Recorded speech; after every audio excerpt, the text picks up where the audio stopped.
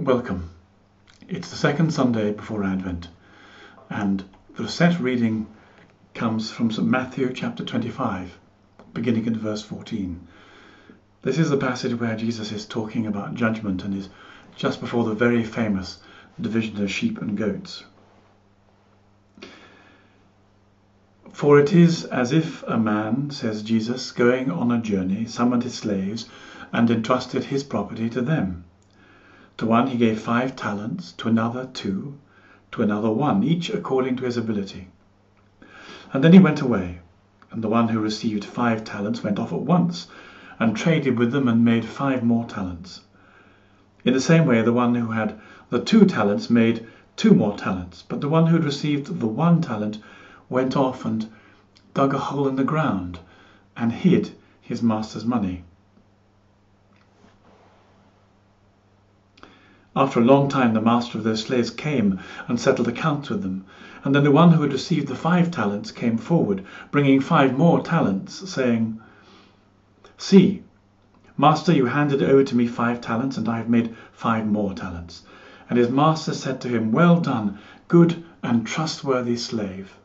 You have been trustworthy in many things. You've been trustworthy in a few things. I will put you in charge of many things. Enter into the joy of your master. And the one with the two talents also came forward, saying, Master, you handed over to me two talents. See, I have made two more talents. His master said to him, Well done, good and trustworthy slave. You have been trustworthy in a few things. I will put you in charge of many things. Enter into the joy of your master. And then the one who had received the one talent also came forward, saying, Master, I knew you were a harsh man, reaping where you did not sow, gathering where you did not scatter seed. So I was afraid, and I went and hid your talent in the ground. Here, have what's yours. But his master replied, You wicked and lazy slave, you knew, did you, that I reap where I did not sow, and I gather where I did not scatter? Then you ought to have invested my money with the bankers and on my return I would have received what was my own with interest. So take the talent from him and give it to the one with ten talents. For to all those who have more will be given, and they will have an abundance, but from those who have nothing, even what they have will be taken away. And as for this worthless slave, throw him into the outer darkness, where there'll be weeping and gnashing of teeth. This is an extraordinary parable in some ways it's very encouraging, in other ways it's really quite frightening. But it's all about love and fear.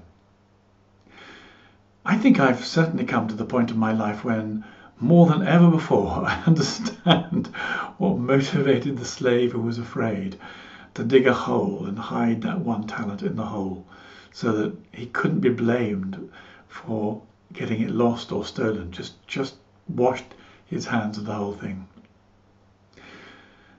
Fear is a very powerful uh, experience for all of us. But of course, along with fear goes love, and as we know from St. John, perfect love casts out all fear. The wonderful thing about this parable is the way God Himself is willing to take risks with us.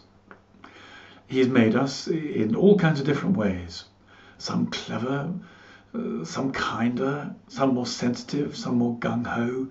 We're all very different. And with each of us, He's taken a risk of giving us our free will. He must wish sometimes He'd kept a little bit of power over our wills to uh, to save us when we when we exercise them badly.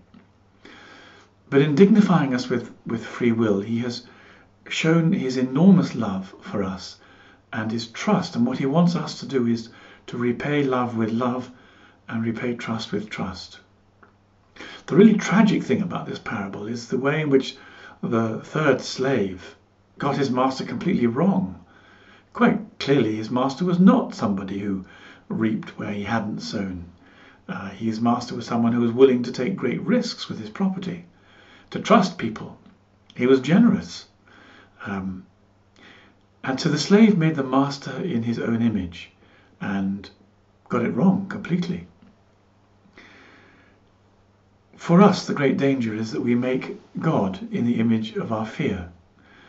And then we get trapped too in the, in the same circularity. We imagine God is going to be unkind or harsh or dangerous to us. And so we just keep our heads down and try and avoid these excessive demands he makes on us. But he's not that kind of master, he's love. He's made us to be loved, to know love and to respond to love. And and like like like like pets, like children when when we experience that love, well we we glow and we grow. There's a wonderful sense in which the kingdom of heaven is an act of cooperation. God wants to bring his love to people, but he only has us to do it with. He came as Christ once in time and once in space, in a very small space in Palestine, in a very small time, 2,000 years ago. And after that, it's all done by delegated love. And so he comes to us and says, Will you join me in this partnership? Will you pray that my kingdom comes? And then says, How can I help that? How can I join in? How can I be part of it? How can I add to the love? How can I love? How can I allow the love that you've poured into me to overflow past me and through me? How can I uh, uh, allow the forgiveness that you've given me to pour into me and past me and through me? And then he shows us and he asks us, of course, to take risks with other people who will reject us. They will be like the bad master. And the antidote simply is to love our enemies, to forgive those who wound us, so the love keeps flowing, the kindness and the forgiveness and the trust go on working indefatigably. Teresa of Avila grasped something of this when she wrote this wonderful poem talking about the way in which God delegates his love to us. Christ has no body on earth but yours.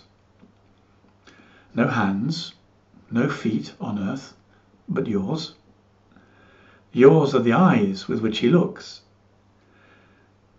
Compassion on this world. Yours are the feet with which he walks about to do good. Yours are the hands with which he blesses the world. Yours are the hands. Yours are the feet. Yours are the eyes. You are his body. Christ has no body now but yours no hands, no feet on earth, but yours. Yours are the eyes with which he looks, compassion on the world. Christ has no body on earth, but yours. Where does the fear come from that wrecks this project? Well, ultimately and spiritually, of course, it comes from Satan. When you find a whispering in your ear that actually you really are no good, you can't be trusted with much. The enterprise will fail. Uh, too much has been asked of you. Step aside, ignore it. These come from, from the divider, from the deceiver, from the liar. They come from Satan who wants to wreck God's project. But they come too because we are often deceived into unloving ourselves. Jesus says time and time again that God the Father adores us. If a son asked his father for bread, would he give him a stone? Of course he wouldn't, says Jesus. He would give him bread and love, and does. So trust your father. But we don't easily trust God as we have these whisperings in our own ear and our own wounds which we carry around. I found the psychologist Erich Fromm very helpful. Fromm exercises a very Christian understanding in his psychology. He wrote a very powerful book called The Art of Loving in the 1950s. And he talks about the way in which loving is taking responsibility. And of course, that's lay at the heart of the talents. It was taking responsibility for the things that God has given. What can I do with these things? What responsible risks can I take to repay God uh, for his trust in me. And so Fromm talked about learning to love oneself properly by caring about oneself and taking responsibility for oneself, by respecting oneself. Um, in order to truly love another person, we have to love ourselves first, which is what the Old Testament means by loving our neighbour as ourself. Of course, the word self is very complicated. It gets caught up. We don't have very good definitions of it. It's too easy to see it as ego.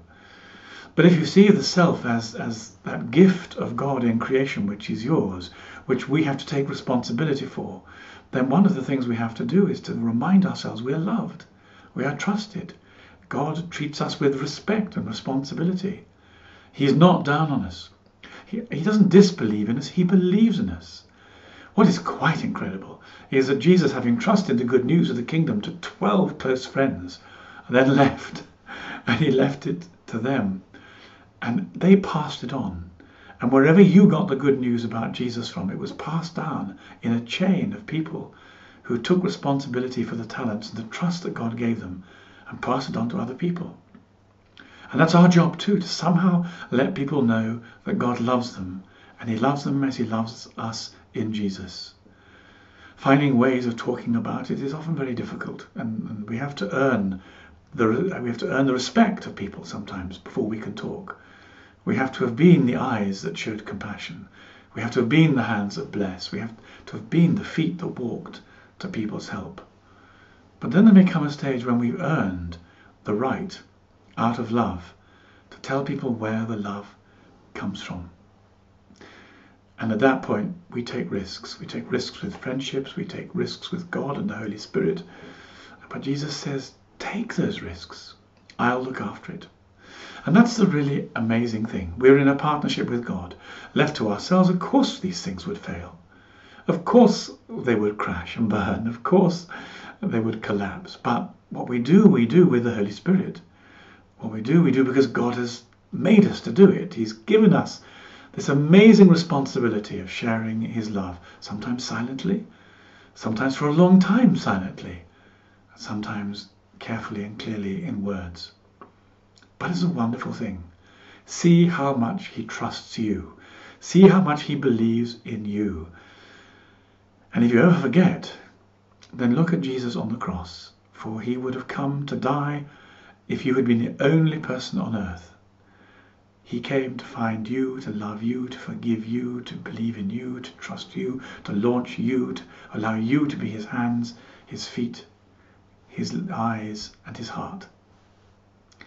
So let us not make God in the image of our fear. Instead, let us be made in his image, which is the image of love and trust and courage.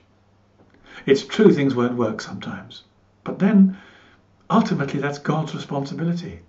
All we need to do is to step up, to say our prayers and say, Lord, I'm willing. I love Peter.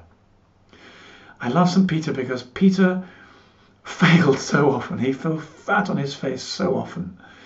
When he jumped out of the boat in the storm to go towards Jesus, he suddenly panicked and fell, and Jesus lifted him up. After all his boastings that he would never leave Jesus, he panicked and fell, and before the cock crowed, he denied him three times. When Jesus asked about some secrets of the kingdom, Peter got it completely wrong and said, Lord, don't go to Jerusalem. And yet, this was the man that Jesus chose to trust as the leader of the disciples, the rock, the Petros, upon which the whole church was built. And look into the Old Testament, how God always chooses the people who at first sight have least to offer. He chose David, who was the, the, the smallest of the brothers. He chose Israel, that was the smallest of the tribes. He chose the prophets, most of whom were very keen not to be chosen at all. He's chosen you and I. He's chosen us not because we are particularly talented, because the danger of being particularly talented is we think we can do it by ourselves. But if you're not, if you know yourself not to be very talented, if you know yourself to have limitations, if you know your fears, then you can see that God trusted you not because he thinks you are a, a super person, but because he knows that you will fall back into his arms and say, Lord, I really can't do this by myself. I need you. And then God says, Yes, you do need me. Together we can do this thing. And that's what the parable of the talents is about. It's an invitation to join with God, to take a risk in love and trust, to let God's love drive out the fear, and to let him to use us to build his kingdom. said on the last day when we stand before Him and He says, Well, these are the things I made you with. How did you put them to use? We can say, Lord, I took a few risks for you because I know you love me and I knew you'd forgive me for those times when I made a complete mess of it. So thank you for sending Jesus to die on the cross to show me and to win that forgiveness for me.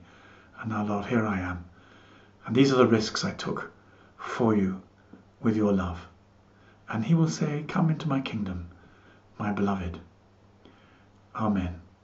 Your kingdom come, your will be done, on earth as it is in heaven. God bless you, give you courage and joy